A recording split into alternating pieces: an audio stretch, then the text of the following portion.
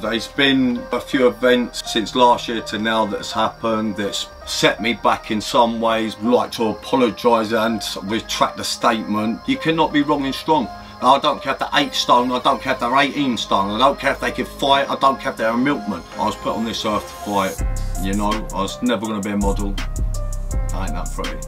Yeah, so I wasn't the best at school and criminality ain't my game, you know. I'd rather get my face punched in for a living. You know, you can't get on Google and say I want to buy some respect, some morals today, how much is it going to cost me? You've got to earn them. I've been a face for the gypsy community since 2009. Uh, when Big Fat Gypsy Wedding come out and I've done a documentary every year ever since from then to now.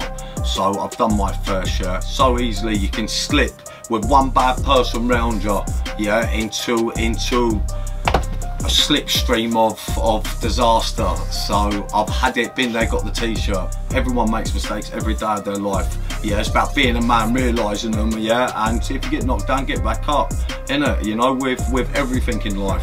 You don't know money today, but tomorrow you know you're gonna be fed. You just gotta keep going. I'm very grateful to be fighting BKFC 20th of August, you know, historical event, Wembley Arena, and the Rhino is gonna do Matrix.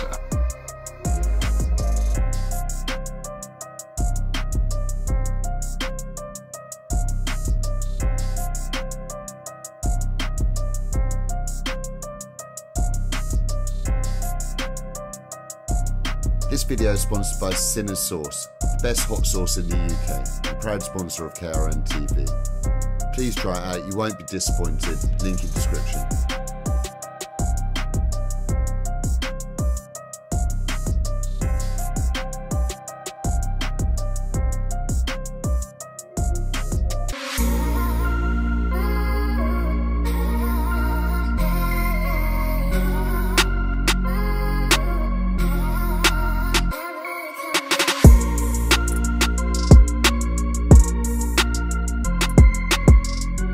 So guys, welcome back to Karen TV. Today delight to be in Virginia Water with the man, the myth, the legend, one of the channel's most popular former guests, the Rhino, Tony Giles. Tony, how you doing my friend? I'm alright. The Rhino, I'm mad, ask mum and dad. And I have got a fight on the 20th of next month, which is August. BKFC, so get yourself a ticket, get yourself to Wembley Arena. Historical event, yeah, bare knuckle boxing. So it's just not like no normal backstreet bare knuckle boxing. This is high level. This is the best fighters of their sports get to fight on BKFC. So you see champion fight champion. You know, it's unbelievable. So how big the sport is growing. And I, I feel honoured. Thank you very much to Dave Feldman, Bobby Gunn, James Quinn, because they are in this sport they have they have brought it to this level if it wasn't for those people there and the knowledge that they have then I wouldn't be fighting on it and it is one of the fastest growing sports of today So yeah, it's a massive opportunity for you obviously, and it's my it? birthday I can cry if I want to cry if I want to oh I need a bit of karaoke Yeah, so happy birthday. Guess obviously it's uh, Tony's 38th birthday today. So uh, I hope you had a good day. I Tony. didn't want to tell everyone I was 38, but yes, I am 38 today. And um, as you get older, you get wiser. So the knowledge is built. So it's about a year since we see you last time. How's the, the past year been, Tony? A whirlwind, really. So there's been uh, a few events in since last year to now that's happened that's pretty much set me back in some ways, but opened doors for what I, what I was put on this earth to fight. You know, I was never going to be a model. I ain't that pretty. Yeah, so I wasn't the best at school, and criminality ain't my game. You know, just I'd rather get my face punched in for a living. At least then, you know, you come home with, come home of a night time with a clean conscience spend the rest of your life watching your kids grow up. You know, so that's what I've always thought, and that's what I've stuck to. Indeed. So you've done it all in terms of the combat sport. Is you've done the kickboxing, MMA, pro boxing, and now sort of the so the last one, um, the bare knuckle fighting, so you must be super excited gypsy- for the opportunity. Yeah, in the gypsy culture, the people haven't. There's not one other fighter out there, professional, in the gypsy culture that has done what I have done. Yeah, I haven't got the recognition for it now because people don't understand cage fighting, you know. So a lot of people they're just starting to get to terms with cage fighting. Never mind the level that I'm at now with bare knuckle boxing. They hear about about bare knuckle boxing and they think bru- brutality, they think savages, they think that you've got to be crazy to be getting in there. But bare knuckle boxing is one of the oldest from England. England was the country that it got invented in, you know, and then it went all around the world. And for centuries, for hundreds of years, that people have done bare knuckle boxing.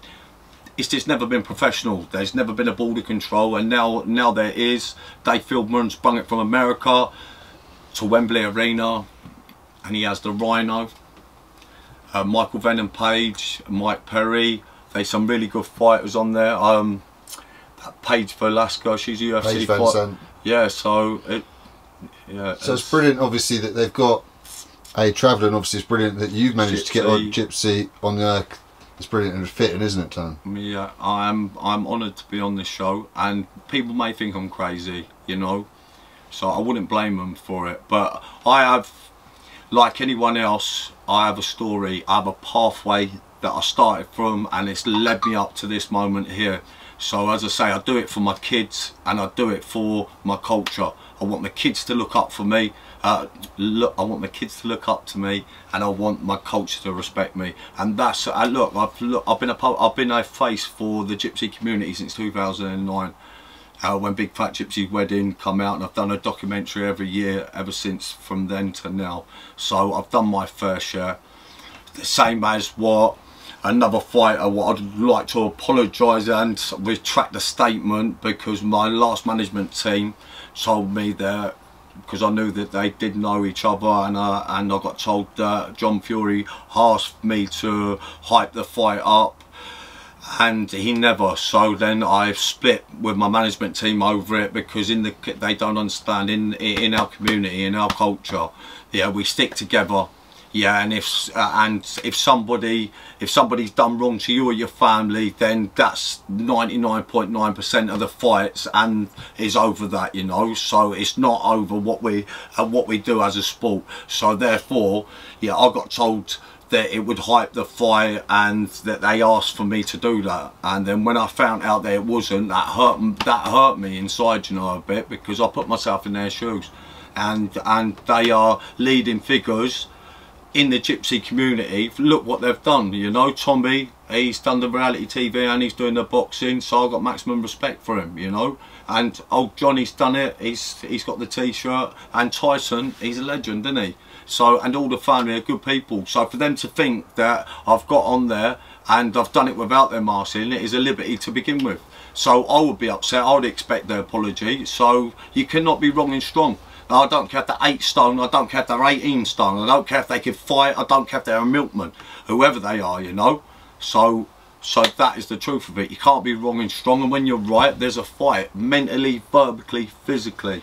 Did I say verbally? Hey! Well, fair, play- fair play to you retracting that. You didn't do it in a Yeah, disrespectful way. in a anyway, when you- no, you didn't way. do it when you first did it. It wasn't a disrespectful call out, was That- it? But obviously, you were misinformed. You got rid of your management team, Mm. and. I um, went to Tyson's last fight and I would have liked to bumped into him and to talk to him. And it, obviously he knows the ins and outs of the games of the rest of the rest of his family. They've been around it all their life the same as us you know. So so for them they understand probably that with my management team who it was they've got them to do that you know. But still for me as a person you know I, I wouldn't like it. So therefore I understand 100% yeah if they watched it exactly how they'd be thinking about it you know and I don't want that especially for people that I, I I respect because they do what I do you know well, fair play to you. And um, like and I I said, wish them all the best good luck of course, shout out to the Furies, all of them. Yes. John Tyson, there's only one Tyson Fury Hughie, Peter, all of them. They're um, a great family. Exactly, they are a great family, and you know what? What they've done for the community,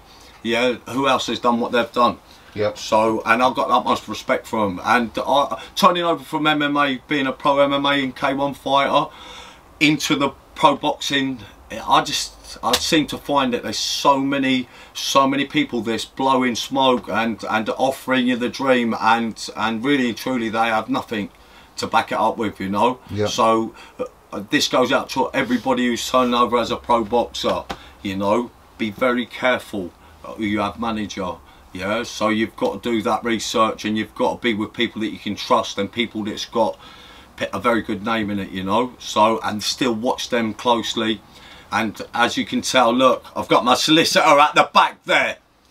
Everything nowadays yes everything nowadays has to be monitored yeah especially in profession because so easily so easily you can slip with one bad person round you yeah into into a slipstream of of disaster. So i've had it been there got the t-shirt.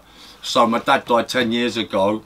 God bless his soul. He was only like 45 46 years of age. So he was like him or my granddad would have been the only people on this earth that would have wanted the best for me unconditionally and without them being there I seem to have made a lot of mistakes in my life. But listen everyone makes mistakes every day of their life. Yeah it's about being a man realizing them yeah. And if you get knocked down get back up innit? You know with with everything in life. You don't know money today but tomorrow you know you're going to be fed. You just got to keep going. And I've been very positive to get here to where I'm at now you know so I don't think any different of myself now than what I did when I was a kid and I was starting out at it you know. But I've done this my whole life. I Indeed. fought bare knuckle. I fought for an hour. I was 18 or 19 years of age. Just come back from staying with Jimmy from down there seeing his mindset to be a pro fighter you know and always had it because my granddad pumped into my head about being a uh, bare knuckle fighter you know. So I had the brain had the heart had the fitness you know. So then Eh, but having all those ingredients, unless you put it in the oven and you cook it, to see the end, to see the end of it, how it's going to look, you never know until you put it in that oven, you know. So anyone could have the ingredients. Get out there, fight with someone that's bigger and better than you, and this that's got a lot better track record than you for an hour, and then you win that fight. Go home that night if you ain't in A and E. Yeah, and then you understand what I'm saying. So not many people's done that. So the the people who have done that, they understand what I'm saying. You know, that is fighting. That's that's fighting for that's fighting not for money, so you can go on holiday or you can buy a new car. That's fighting for your fighting for what you've been put on this earth to do, and that's to respect your eldest. Morals, you can't buy them. You know, you can't get on Google and say I want to buy some respect, some morals today. How much is it going to cost me? You've got to earn them, hmm. you know. And I believe that the all, the time that I've been doing this is to, it is to earn the respect what I have today, you know. So I'm very grateful to be fighting BKFC 20th of August. You know, historical event, Wembley Arena, and the Rhino is going to do Matrix, and that is that is one thing that I can promise you dedicate the fight to little Jimmy Lee Vincent. You know, Rest Jimmy's got to be, his dad, who, who is a legend himself, ex-pro boxer that's fought for world titles, British titles, and he's uh, yeah he has done everything, got the t-shirt, you know, and and he's been there from the beginning.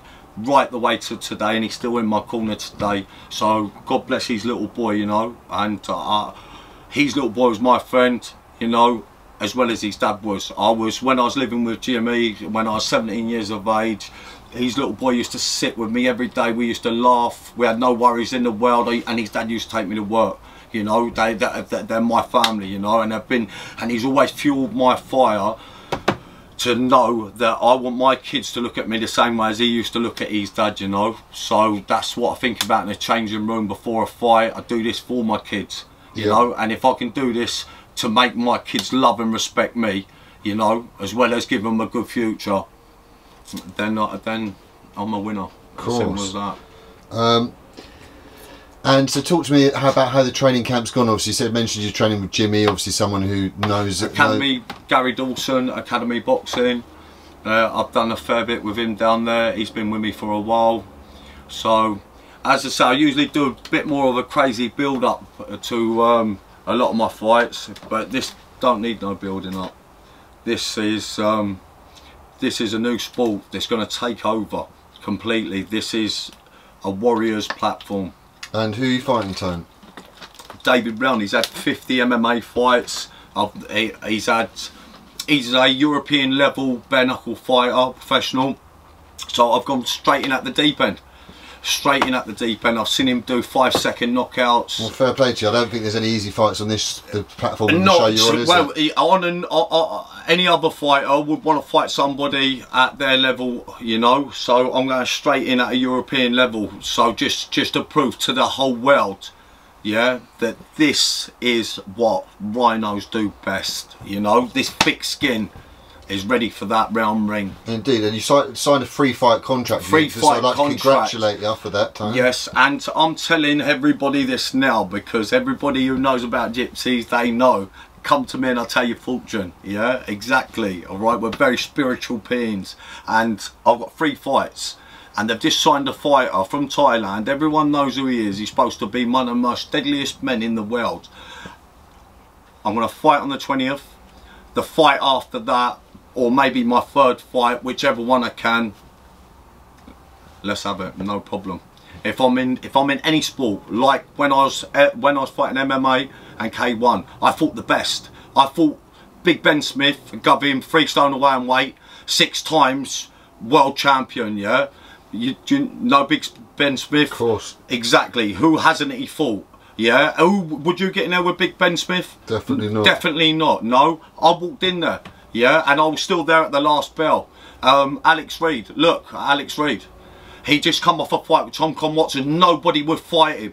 Nobody would fight him. The promoter said everybody they want to say that they're fighting, but they're not going to fight him. I need somebody who's going to fight him that is going to turn up. And Fair I play was to you. man, you know. Keep so, so boundaries. yeah. So every every level of of every sport that I have been, I've been in, I've went straight to the top. You know, I may not have succeeded the first time, but I made it in the end. And this is what's going to happen with this. So yeah, incredible. Um, obviously, opportunity you've got ahead of you then, Tone, and fair play to yourself putting yourself in this position and training hard. And obviously, you must be super excited. To talk to me about how the fight's going to go then on the night. But everybody knows that I build a fight up. I'm I am a crazy character, yeah, but I don't have to build this fight up. This fight is going to be historical because, listen, when we walk into there, once someone's getting knocked out, you know, stand and bang. Yeah, I'm prepared, alright? And if the better man wins on the night, yeah, the better man wins, alright? We're all champions for walking in there. But as the Lord is my witness, yeah, I've got three fights. I will win all these three fights. Yes, I will be a champion. All right, you're hearing it now. Yeah, I'm 38 years of age today. The Rhino. Yeah, I have broke records since I've started in the professional leagues. Who else do you know as a gypsy has done what I've done? MMA K1. Who's walked into them cage? Who's who's looked into the dark and not uh, uh, uh, and not fell over? I got to the end of that pathway and I'm still here now. Of course, fair play to you. You've been um, setting the path, haven't I you, the whole from the bottom now here. And so, do you obviously feel like, obviously, you talk about the way in previous interviews that your granddad raised you. Feel like you've been bred for this. This is the perfect Listen. I've done reality TV and I've talked enough about myself since Get reality 2000 TV, you know, bare fighting in terms of the culture, the way you've been raised. 2009. Since 2009, that's when I started doing documentaries and letting people know not just about my life, about the culture, and and you know what I feel like I've done a good job at it. But all of that out the window now. Yeah, I'm walking in to a round ring. I know that sounds crazy, but you've got to see it. I'm walking to a round ring, yeah, and I'm going in there to win. I'm going in there to do Matrix, and I guarantee that after the fight on the 20th of August at Wembley Arena, you're going to wake up the next morning after watching it and say, Did you see what that guy done last night? Yeah, I'm bringing a new level. Well, I can't wait to see it, Tom. Oh, I can't wait to. I've been wait to doing see a lot it. of meditating lately. Yeah, getting your mind Yeah. in the right sort of place, really. Yeah. but I am ready mentally, you know, and I've got my I've got my corner. You the other day when I started and I got this fight, I was 93 kilos. Um, you see me weigh myself earlier on, 81.6 in a few weeks. I've done this my whole life. I've been pro and I've had and I've had fights coming up for 12, 13 years that, uh, that uh, for the last 12 or 13 years I've had fights coming up all the time basically. So I've always constantly my body's prepared and I have finally I've had a rest for the last few months before I took this fight to let all my injuries heal yeah to have a break take myself away from it you know all the social media all the people you know like and just concentrate and go back to where it started you know and I've done all of this for a good reason and I believe that the whole world has not seen what I'm capable of and this is the platform now to show the world these Turkish teeth. Yeah, of course. Well, we look forward to seeing it obviously in a few weeks' time. And so, like you say, your mind's in the right state, your body's right. Yeah. All the time away from social media probably done the mind some good, like saying it. It's no good for all this social media stuff for anyone. No, not at all. Not at all. And as I say, you get a lot of trolls on there. You get a lot of people that try and mentally bully you on there. You get a lot of people that are on there. They say just try uh, is out with manipulative intentions you know for you so you've got to be very careful on there especially whatever profession you do so indeed well like I said obviously I'm wishing you the best of luck on the night and for anyone obviously guys go down there and watch it for anyone who can't get down there get onto the BKFC get on their website sign up for as it as I say again I'd like to thank Dave Feldman Andy Blackwell uh, Bobby Gunn legend James Quinn McDonagh, legend. See, so these are the people. Jimmy Vincent, legend, love him. And um, also, I would like to say a big I love you to and all your family and always have done and he has helped all the way along just by always pointing me in the right direction that's Big Alfie Best. Yeah, fair play. Shout out to Alfie Best Shout and his boy, the Big proper, Alfie Best. proper gentleman. And uh, it seems to be that every point in my life I've been at the darkest. I, I've had a phone call out of nowhere, and he sort of swung everything back back around just with his positive mindset, you know. He's got so knowledge, I'm, yeah, yeah. Well, positivity. He's a legend. He is a legend. So I should I should be every time I do an interview saying thank you. Because if it wasn't for his knowledge I probably wouldn't be here today you know. He sponsored the fight against Alex Reid at, at, um, back in 2014 you know nobody had that faith or trust in me you know until he put it in me. And then once he put it in me you know how could I let him down? So thank you Alfie. God bless you. Little Alfie's doing so well for himself and all the family you know. Well fair play and also like to shout out to the best but like I say um fair play to you, Tone. You got yourself in great shape again, mm. ready for a next challenge. Constantly putting yourself in in the way of more and more challenges all the time. And I think this is one, obviously, like I said, that you've been raised for, and it's, it's perfect for you, isn't it? On the big stage, no easy fights. Let's go. When I was a kid, I could see it in my head. I believed it in my heart. You know, I, I just had to show the world. I just had to do it then. So uh, this is, for me, this nothing new. I knew that this was going to happen. I knew what I had at the end of my career was going to be the most intense time, you know, and I've got a few years, I'm 38 today, uh, so I've got a few years left if, if God looks down on me. And in, in them next few years, I am going to now go to the next level of showing everybody Matrix mm, at the most hardest, roughest, dangerous sport. Did I say dangerous? As a dangerous sport out today. Well, you know? like I said, obviously wishing you the best of luck and we're going to be there on the night to support you. And guys, make sure you support him. Get onto Tony's Instagram as well. Add him up. That link will be in description. And uh, yeah, Tone, is anyone else you'd like to shout out? You just shout out Dave Feldman, and we'll be Gunn. If you have, is any of your team you'd like to shout out? Mm. Family, anyone? There's so many of them, you know. I think I've had to, I've shouted out the main ones at the minute, Perfect. so I can't keep shouting out people and, and leaving other people out. But as I say, I feel like with this interview I've, write, I've writ a few wrongs, you know, so as I say with the Fury situation, yeah, that hurt me inside because because I put myself in their shoes, you know, and I know what exactly goes goes through people in the fight world because I've done it myself, especially in the gypsy community because we get brought up all our lives from our first first breaths and from being babies we get to hear about, see, fighting.